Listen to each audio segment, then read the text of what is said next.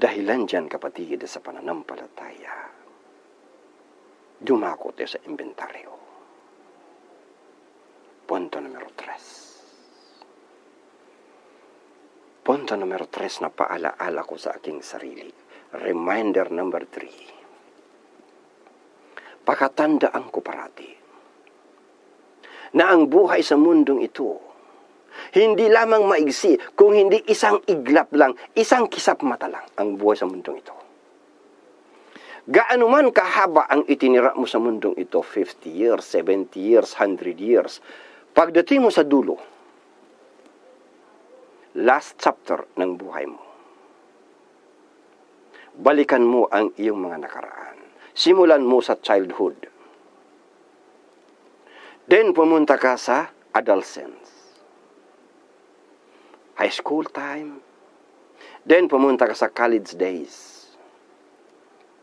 Then pumunta ka sa iyong career, gumraduate ka na nagtatrabaho. Then, kalagitnaan ng iyong edad. Then pumunta ka sa nag-retire ka na, matanda ka na. Then hanggang ngayon sa kasalukuyan, uugod-ugod, nakaratay sa banig. Kapag binalikan mo yun flashback, isang kisap mata lang ang buhay na 100 years. Dahilan dyan mga kapatid sa pananampalataya, kailangan natin magmadali. Ito pang reminder number 3. Magmadali ngayon mismo gumawa ang bawat isa ng self-inventory. Imbentaryuhin kong sarili ko bago ako imbentaryuhin sa araw ng paghuhukom. Papaano ko nakamit ang aking kayamanan? Galing ba sa halal? O galing ba sa haram? Ang mga ari-arian mo, mga mansion, mga condo units, mga sasakyan, bank accounts, whatsoever. Naitanong mo na ba sa sarili mo? Seriously. Sapagkat hindi po natin ito siniseryoso talaga. Naitanong mo na ba sa sarili mo, paano ko nakamit itong kayamanan na ito? Sa paanong paraan? Sa paraan na kalugod-lugod sa aking Panginoon? O sa paraan na kalugod-lugod kay Satanas na isinumpa? Dahil paano mo ginugol ang iyong kayamanan? Sa paraan ba na kalugod-lugod sa iyong Panginoon o sa paraan na kapuot-puot sa iyong Panginoon?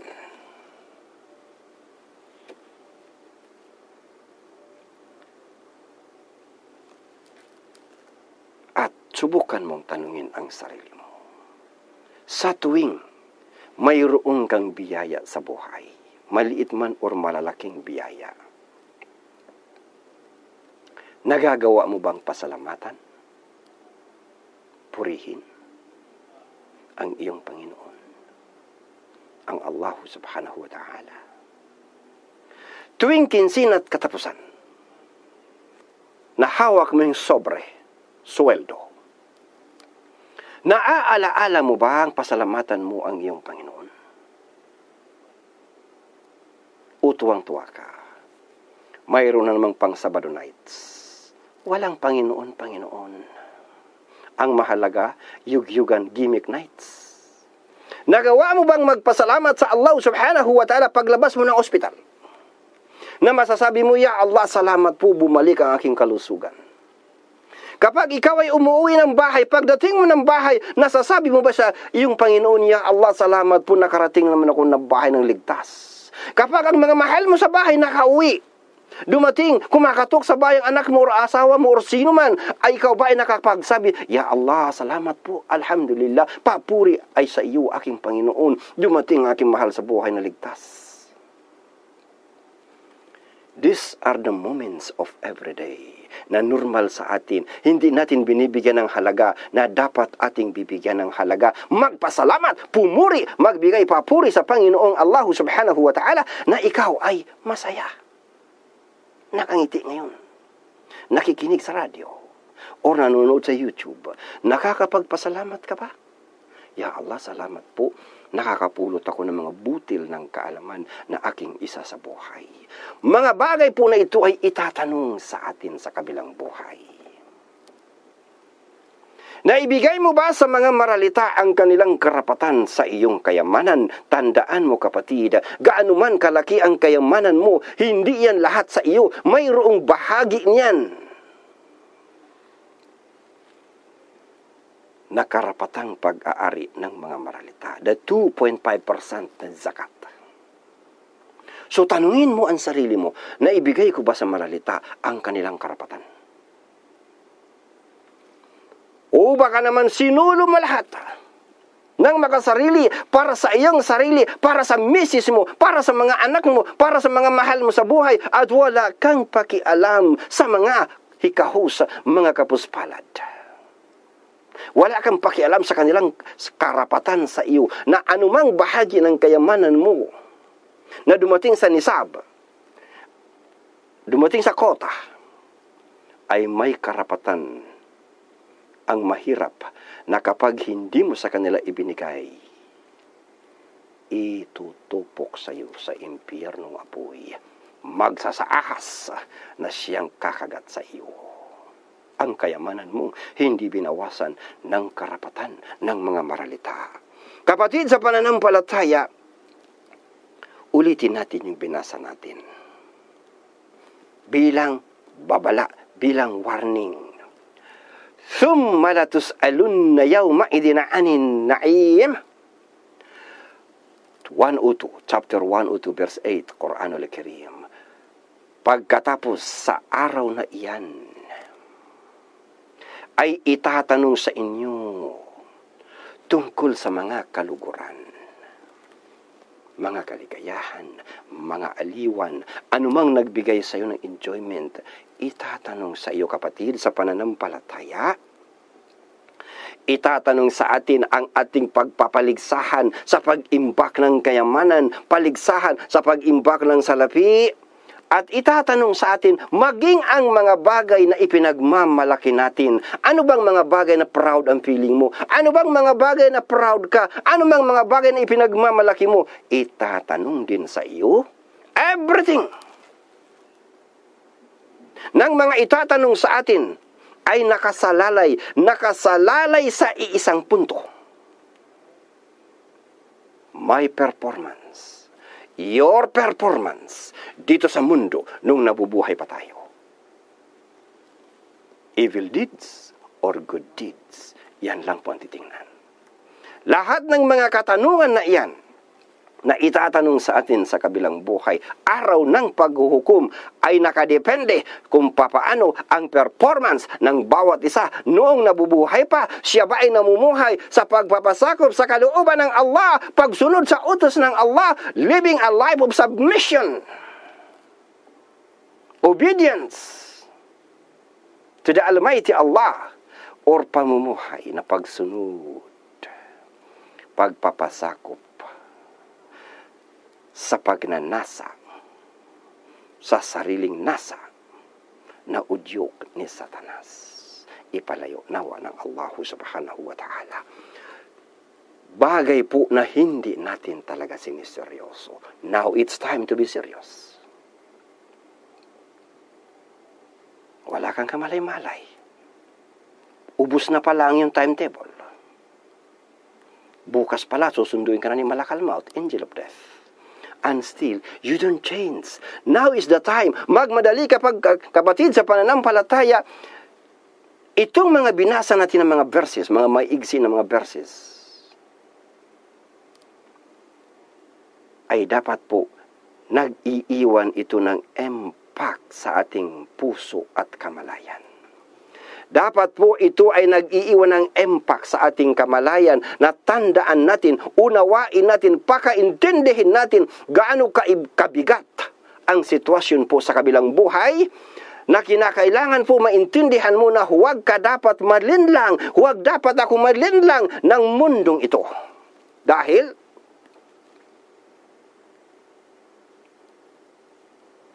the life in this world is just like a blink of an eye. Napakaiksi po. ang buhay sa mundong ito ay para lang isang kisap mata. Napakaigsi na panahon. Bising-bisi tayo. Agawan, paligsahan. Then finally, libingan. Alhaakumut takathur hatta jurtumul makabir. Ang pagpapaligsahan sa isa't isa ay nagpapalihis sa inyo hanggang sa humantong kayo sa mga libingan. Allahu Akbar. Then after that one final blink of an eye, you're finished. And you're a flatliner. Pang-apat po na reminder sa aking sarili. At reminder na rin po sa ating lahat. Pang-apat na reminder. Dahilan po sa pagiging abalang-abalan natin sa mga makamundo. Pagmamahal sa makamundo.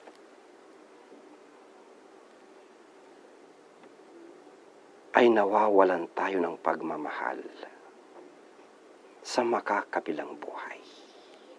Iyan ang katotohanan. Dahilan sa pagmamahal mo sa iyong sasakyan, wala kang pakialam kung saan galing ang pera. Ang mahalaga magkaroon ka ng sasakyan Dahilan sa pagmamahal mo na magkaroon ka ng bahay at lupa, wala kang pakialam kung saan galing ang pera na ibibili sa bahay at lupa. Ang mahalaga magkaroon ka ng bahay at lupa. Nangangahulugan, wala kang pagmamahal sa magiging buhay mo sa kabilang buhay. Hindi mo mahal ang sarili mo. Hindi mo mahal ang buhay mo. Hindi mo mahal ang kaluluwa mo kung sa maigsi lang na panahon ng 50 years, 60, 70, 100 year habaan na natin. Kung sa maigsi lang na panahon ng 100 years ay ipagpapalit mo sa life sa kabila na forever and ever. Hindi po ba, kapatid? Dahilan po sa pagmamahal natin sa mundong ito. Ulitin natin. Hindi po masama magmahal sa mundong ito. Kotse, mamahalin mo. Bahay, mamahalin mo. Misis mo, mamahalin mo. Anak mo, mamahalin mo. Mga ginto mo, mamahalin mo. Hindi masama. Ngunit, ang masama ay dahilan sa pagmamahal mo sa mga bagay na makamundo ay patuloy mong dinidelay dinidelay, lagi-lagi mong ipinagpapaliban ang dapat ay paghahanda paghahanda sa kung ano ang magiging kalagayan mo sa libing, paghahanda sa kung ano ang magiging kalagayan mo sa day of resurrection, araw ng muling pagkabuhay, paghahanda sa ano ang magiging kalagayan mo sa day of judgment, paghahanda sa ano ang magiging kalagayan mo sa kabilang buhay. Yan po ang masama. Dahilan sa pagmamahal sa mundong ito, ay dinidelay natin yung paghahanda. Saka na, bata pa naman ako eh. Saka na ako magreforma, bata pa naman ako lubos-lubusin ko na ang buhay marangya, buhay bisyo, buhay immoral, buhay makasalanan. Pag senior citizen na ako, saka na ako, buhay takwa, buhay ikhlas, buhay tawhid, buhay tauba, saka na. Ngayong bata pa ako, lubos-lubusin ko. Bakit? Akala mo ba buhay ka pa bukas? Sigurado ka? Paano kung this is your last and final day? Hindi ka pala aabot sa edad ng 30, hindi ka aabot sa edad ng 20. Ang edad mo pala ay 19 ay babawian ka na ng buhay. So because of our love of this dunya, we kept on delaying to reform ourselves. We kept on delaying to change our attitudes in life. Lagi-lagi natin ipinagpapaliban sa kana. Ang takwa, sa kana. Ang ikhlas, sa kana. Ang buhay na tauba, sa kana. Ang pamumuhay na mahintatakutin sa Allah. Then finally, magugulat ka na lang. It's your final day.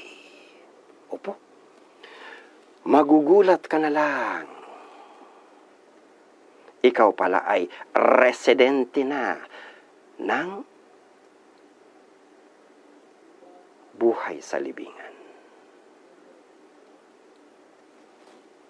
Magkamalay ka na lang, nasa puntod ka na pala, nakatira kasama ng mga nakatira sa barzak.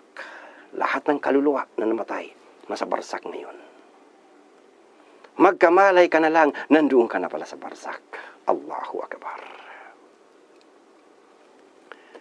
Then sa pagkakarirahan natin muli, balikan natin sapagkat yun ang pinaka-focus natin. Karirahan. Talaga. Paligsahan. Paligsahan sa pagyaman, paligsahan sa posisyon, paligsahan sa karangyaan, paligsahan sa karangalan, paligsahan sa katanyagan, posisyon, etc.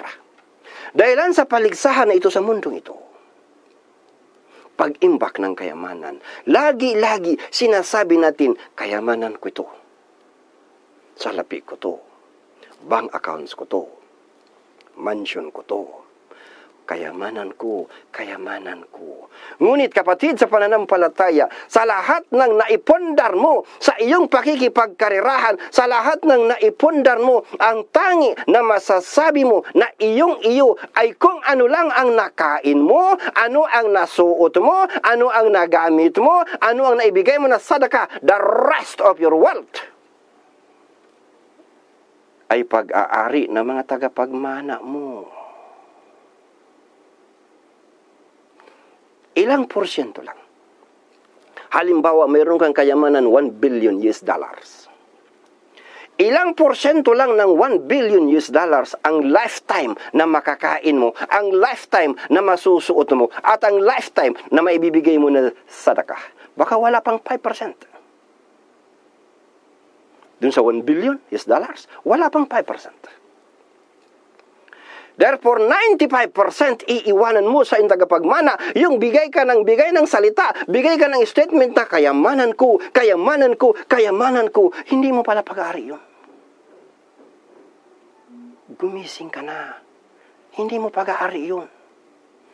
Baka ito pang iiwanan mo sa kanila, maging mitsa pa para mapaligaw ang mga anak mo mapunta sa bisyo o kaya maging mitsa pa ang iniwanan mo sa misis mo na kayamanan para siya ligawan ng another man, another husband. Maraming beses nangyari yan. Katibayan, Yakulul abd, mali, mali, wa inna ma lahu min malihi thalathun ma akala fa afna aw labisa fa abla aw tasaddaka fa amda wa ma siwa dhalika fadahibun wa tarikuhu linnas. Malapit-lapit na pakahulugan ang alipin ay nagsasabi kayamanan ko kayamanan ko. Ngunit tatlo lamang na benepisyo ang kanyang makakamit sa kanyang kayamanan, yaong kanyang kinain at ubus na, yaong kanyang isinuot at lustay na, o kaya yaong kanyang ibinibigay na sadaka at nagugol na ang lahat. Ng mga ito,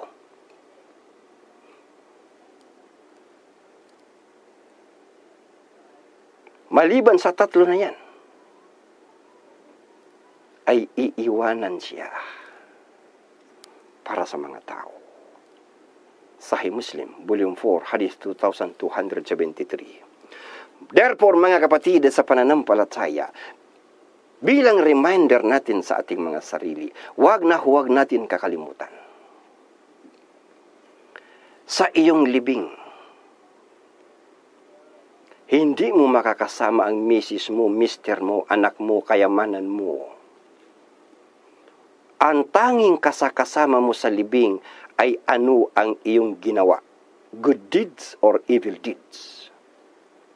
Sa araw ng muling pagkabuhay, yun din lang ang kasakasama mo, your deeds, evil or good deeds.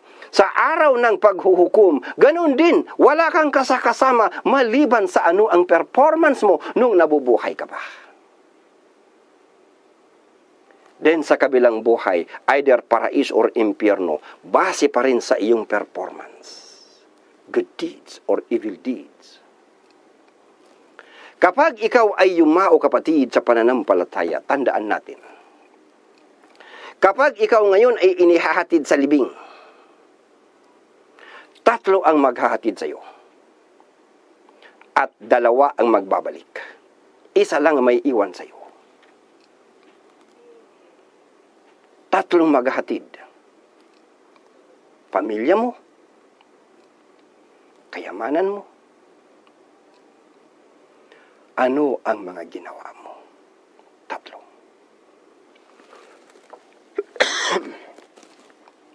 Excuse me.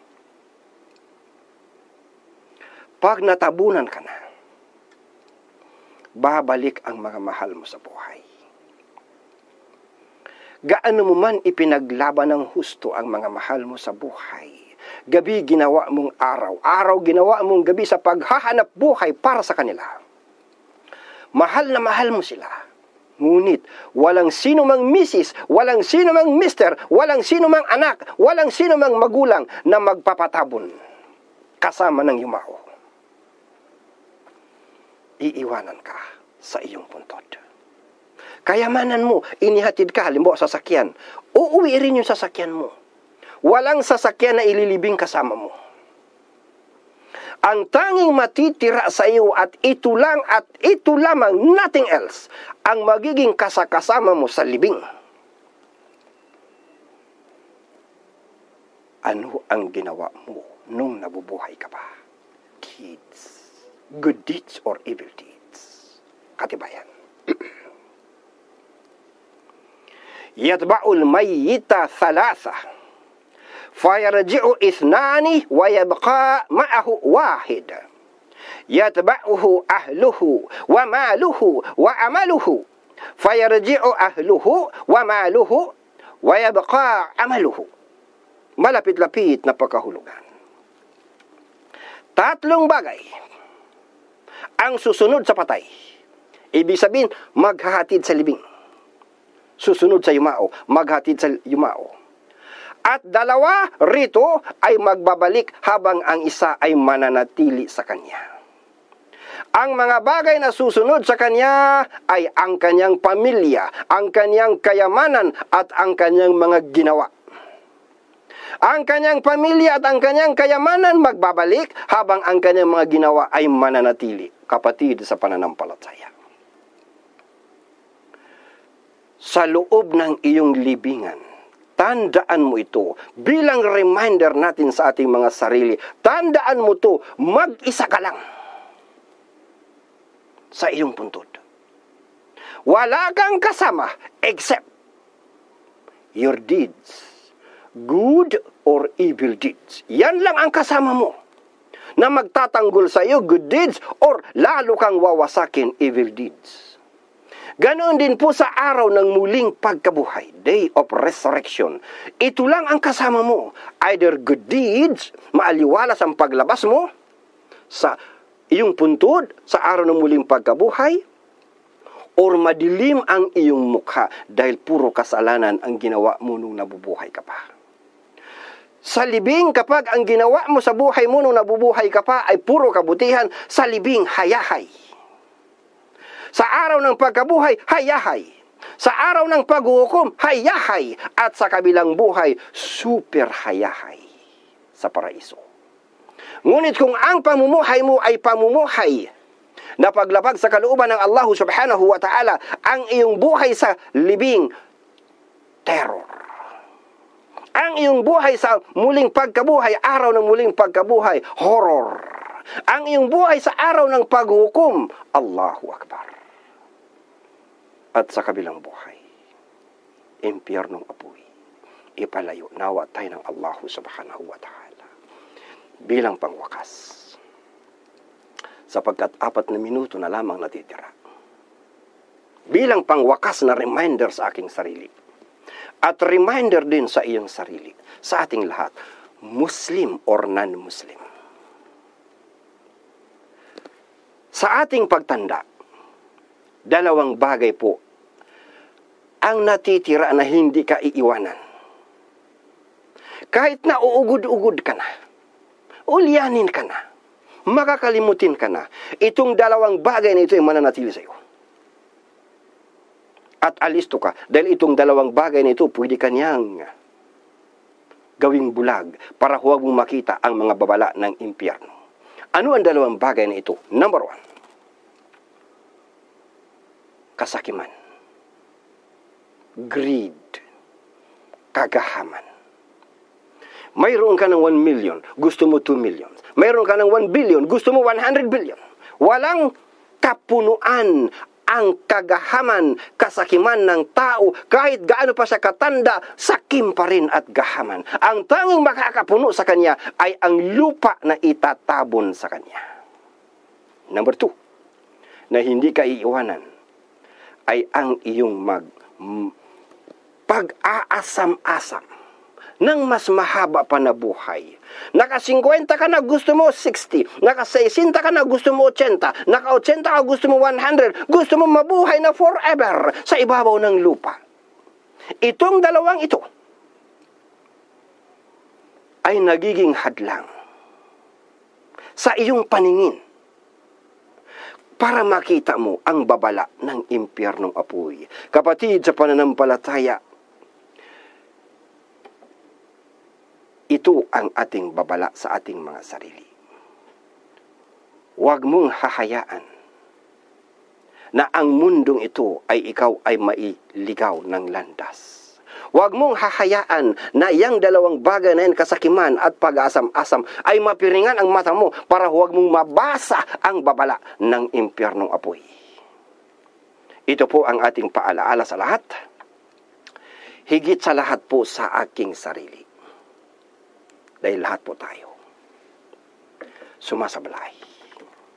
Either paminsan-minsan or madalas.